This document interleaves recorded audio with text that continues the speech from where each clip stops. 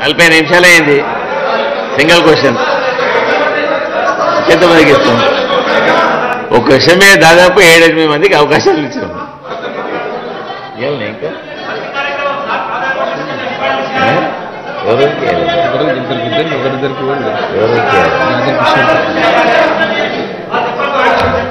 కిషోర్ గారు. Please two minutes ఒకటే ఒకటే ప్రశ్న. ఒకటి ఇంగ్లీష్ మీడియంలో తీసుకోవాలని చెప్పేసి అనుకున్నప్పుడు టీచర్స్కి ఇంగ్లీష్ మీడియం సంబంధించిన ట్రైనింగ్ ఏమైనా ఇస్తారా? తర్వాత పూర్తి స్థాయిలో పని నిర్వహించాలంటే సిబ్బంది కూడా అవసరం కాబట్టి ఎంఈఓలు మొత్తం కూడా టెంపరీ బేసిస్ మీద ఎఫ్ఎస్ మీదనే నడుస్తూ ఉన్నారు. రెగ్యులర్ ఎంఈఓస్ లేరు. వాళ్ళకి ప్రమోషన్స్ ఇచ్చి వారిని ఏమైనా చూసుకునే అవకాశం ఉన్నదా?